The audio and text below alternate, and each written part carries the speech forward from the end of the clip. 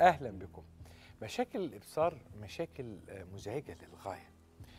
آه، في السواقة نفسه كان يكون لعيب كورة مش قادر يلعب لأنه عنده ضعف إبصار شديد.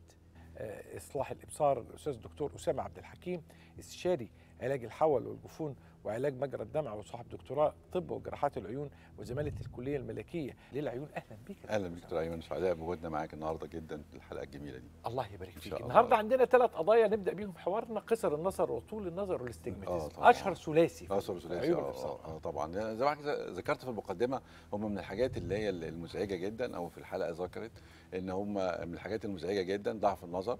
واللي بيعوق ال- ال- الأطفال يعني هنتكلم موضوع كبير قوي يعني عدسات وليزك وزرع عد- موضوع كبير جدا جدا جدا.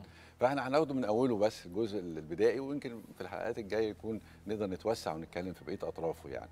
آه، فإحنا هنا بنتكلم على تعريفاتهم والعلاج بتاعهم السهل الجزء اللي بيقابلنا أنا في العيادة باستمرار دلوقتي أو في السن الصغير اللي هو النظارات يعني.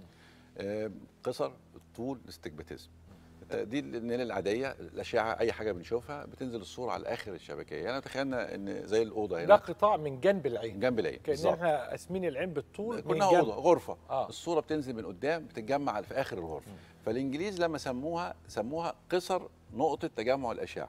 قصر نقطة تجمع الأشعة. الأشعة قصيرة بالنسبة للعين. بس إحنا اختصرناها وشلنا كل كل ده وخليناها قصر نظر. فده لخبط الناس خلاهم فاكرين قصر النظر يعني بيشوف البعيد ما بيشوفش القريب بيشوف القريب بيشوف البعيد. دي مالهاش علاقة خالص بالموضوع خالص. هو قصر النظر أو الميوبيا أو ايا كان المصطلح بالإنجليزي إن الأشعة قصيرة بالنسبة للعين مش قادرة توصل للآخر. ايا كان السبب لأن العين طويلة شوية العين كبيرة شوية. إحنا هي العين 24 مللي فالصورة المفروض تمشي ل 24 مللي. لو العين دي 25 مللي يعني مللي زيادة الأشعة تمشي برضه لل 24 بس في مللي ناقص اهون فبقت الأشعة قصيرة زي الصورة الأولانية اللي على الشمال. فقص يعني آه، النضارة يعني حضرتك ال- الأرقام الأرقام بتاعت النضارة ممكن تتغير مع النمو لكن هي عمرها ما بتبقى ثابتة. وبالتالي أنا كل سنة أي حاجة في جسمنا بتكبر مش بتفضل مش بتصغر. فأنا لما بيكون عندي قصر أو طول الرقم ممكن يتغير مع نمو العين لكن ما هو الثابت لما بلاقي الرقم اتغير معناته إن العين اتغير حجمها. وأنا دايما أشبهها زي البنطلون زي القميص. لما بروح آخد له بنطلون وآخد مقاس أكبر أو مقاس أصغر ده معناته إن جسمه اتغير. مش معنى كده إن هو في حاجة باظت عنده أو إن في حاجة خربت أو حاجة آه، اختلفت عنده يعني. إزاي اختار النظاره المناسبة للطفل ده؟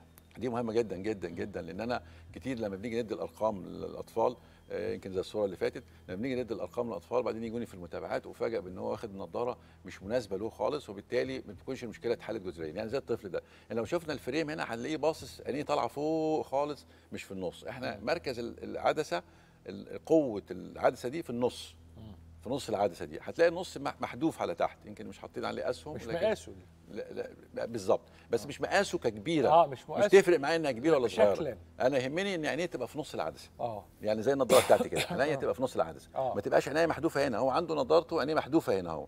في الطرف فوق كده. فوق، آه. فوق خالص. تحت المركز والبقره في النص تحت خالص. آه. آه. فبالتالي دايما أقول للأهل لو سمحتوا بنروح المحل نحط النضارات على عين الطفل.